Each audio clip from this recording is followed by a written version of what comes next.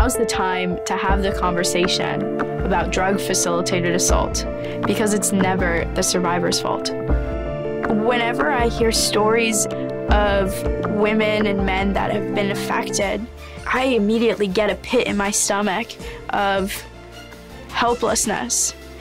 And that's why I continue relentlessly pursuing KnoNap because that's my way of relieving that pit and saying, no, I can do something and I will and I am.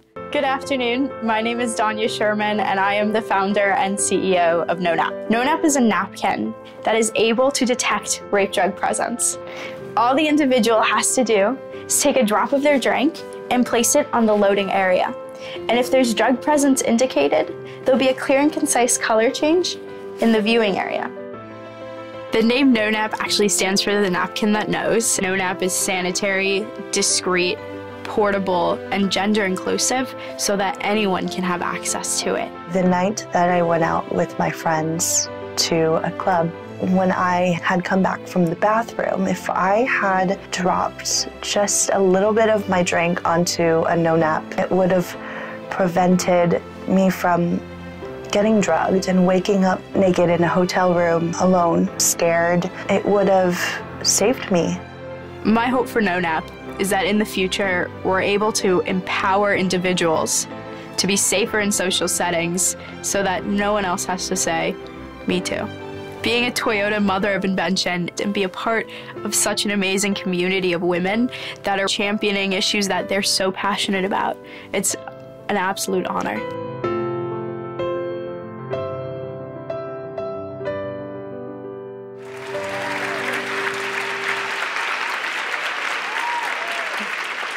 Hello, everybody. I'm Athena Jones. I'm a national correspondent with CNN based here in New York.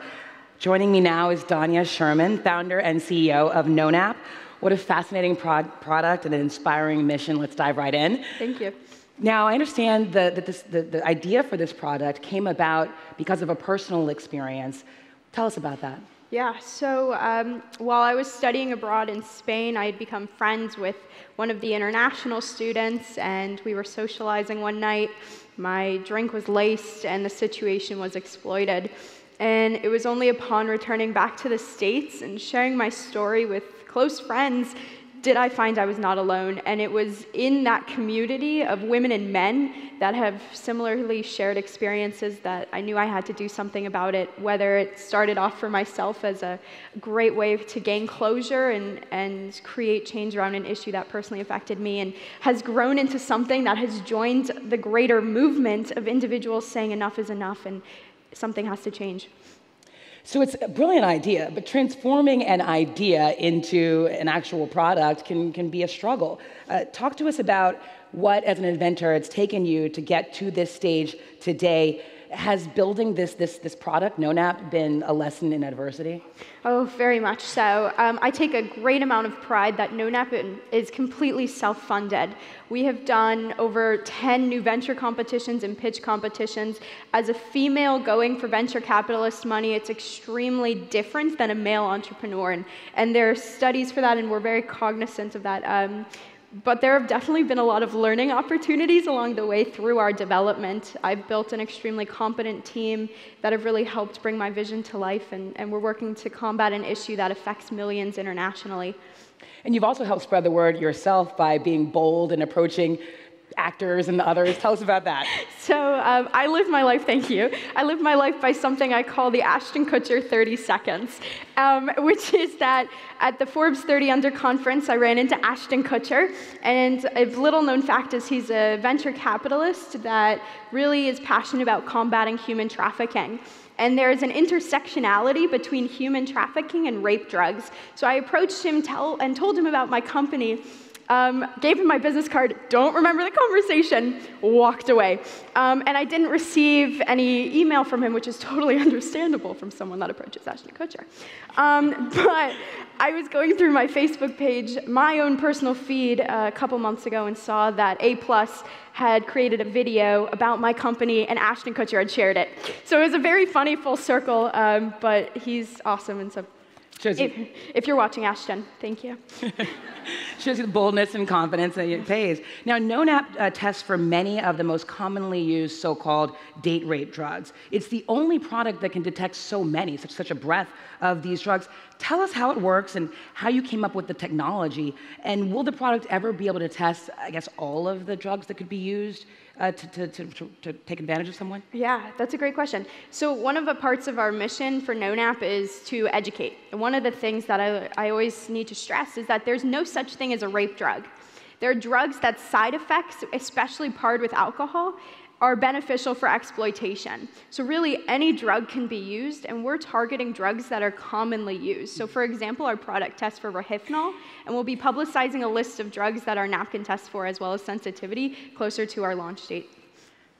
You said you want KnoNaps to be distributed like condoms. You can look at it, it's just like a regular napkin. When and where will we, will we be able to buy it? How much will it cost? What are the logistics there? Yeah, so similarly to condoms, I see universities being able to sponsor KnoNaps for students, either distribute them through their dorms as well as through um, health centers. I see condoms as a prevention tool and an empowerment tool, and I want KnoNaps to be similar in that, in that aspect. Now, you've sort of touched on this by talking about your personal experience, but has the Me Too movement inspired you? Yeah, very much so. Um, you can only create social change around an issue that's, person, that's personal and pressing in today's society. And if it's not pressing, change cannot occur. So, with the Me Too movement, it really created a culture and a social awareness, more so than ever before, of issues pertaining to sexual violence. And when you have that culture, you're able to create change. And so I really want to have my company be a part of the movement and saying enough is enough and really join in the voices. And I've honestly been humbled and honored to have spoken with so many survivors of sexual violence. And, and I like to stress as well that anyone can be affected regardless of gender, sexual orientation, geographic location. And that's really why we're trying to make our company and why I'm making my company so inclusive.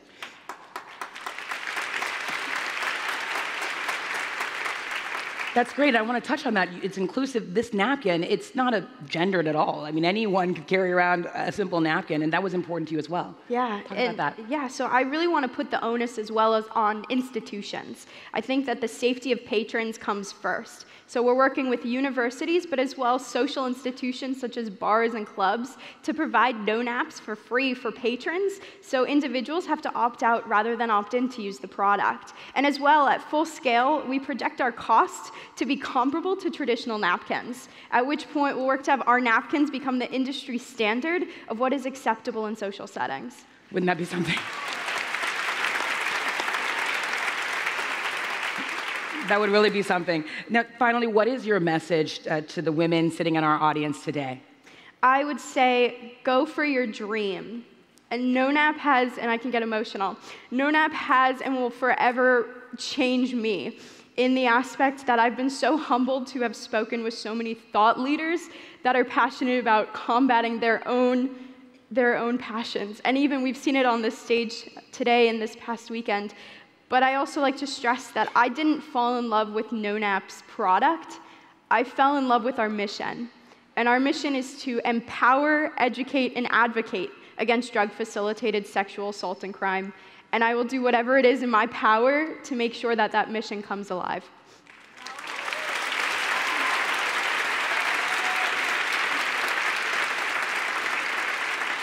It's wonderful you're able to, it's wonderful that you're able to take a, a, negative experience and turn it into positive change that could, could be a good change for a broad spectrum of people all across the country and maybe even the world. Uh, Danya Sherman, your product and your mission are incredibly important. I am excited to see KnoNap grow, and thank you for joining us. Thank you.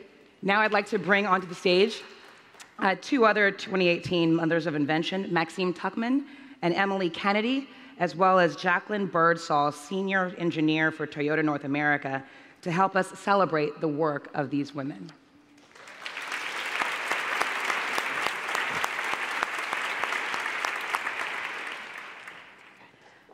First of all, I would like to thank Tina for hosting such an inspiring event. Toyota is proud to honor these mothers of invention, women who demonstrate leadership, entrepreneurship, and innovation to solve the world's problems. As we shared yesterday, since the program was introduced in 2012, 22 women have been named Toyota Mothers of Invention. This distinction gives them a platform to shine a light on their causes and use grant dollars to change the lives of women, their communities, and the world. And we see women in the world as the perfect platform for them to tell their stories in an environment where strong women are encouraged and celebrated. Over the past few days, you've met each of our 2018 class. Maxine Tuckman of Caribu, who created an interactive storybook application to allow parents and loved ones to read to their child no matter the geographic distance. It's an especially useful tool for parents on military deployment, and it helps improve the literacy for all children. Emily Kennedy of Marinus Analytics, who is using artificial intelligence and machine learning technology to locate victims of human trafficking and its perpetrators. No longer does law enforcement need to spend hours combing through the web to locate a victim, but can instead upload a photo into facial recognition software and expedite the search. And as we've just heard, Danya Sherman of KnoNap, who invented a discreet, gender neutral drug detection device in a napkin so that now anyone can prevent a violent crime by using the napkin to detect harmful drugs that could be secretly placed into their drink. And ladies, I am thrilled to share this stage with you. and I know what it's like to devote your career to a cause. For the last 20 years, our team has worked to develop Toyota's first production fuel cell vehicle, an all electric, zero emission vehicle that is refilled with hydrogen instead of plugged in. Just three years ago, we finally launched it, and we named her the Mirai, which is Japanese for the future. Similarly, these mothers of invention are creating solutions to impact the world and do their part to build a better future for generations to come. Now, I'd like to take a few minutes to show you how our future is brighter because of these innovative women.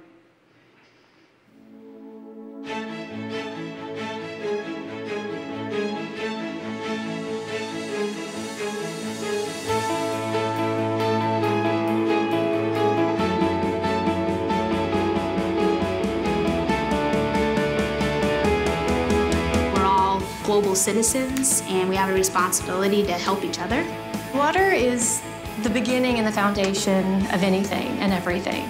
Because we stay abreast of what's emerging technologically, I think that in five or 10 years, our work will be even more scalable. What keeps me going every day is looking at the various entrepreneurs, the doctors, even health workers who are using ClickMedix to deliver healthcare, to actually care for patients and improve patients' lives. Necessity is the mother of invention. The needs are here, the infrastructure is here. What we're doing is trying to bring those two things together and create innovative solutions. It's not just we're building technology, but we're trying to change systems. We're trying to change the future of how people are fed. First opportunity to get in the shower, it's transformative. And that's what we see when people come to us. It's like one person goes in and a totally different person comes out. It's really about creating a path where people can empower themselves with temporary shelter as the first step. Right now, Caribu is helping families in 148 countries but we're just scratching the surface. We're working on reading and literacy, but in the future, we want to use the technology to do language learning and tutoring. We truly believe that science is a tool that can solve the world's biggest challenges. We want to give every student the opportunity to experiment so that they can be the change makers of tomorrow. Our ultimate goal for artificial intelligence tools in the human trafficking space it's that detectives can do three clicks and they get the trafficker in handcuffs. So we want to just make this process as quick as possible so we can prevent exploitation, rescue victims, and make huge impact. The legacy of my company will be one of empowerment, education, and prevention.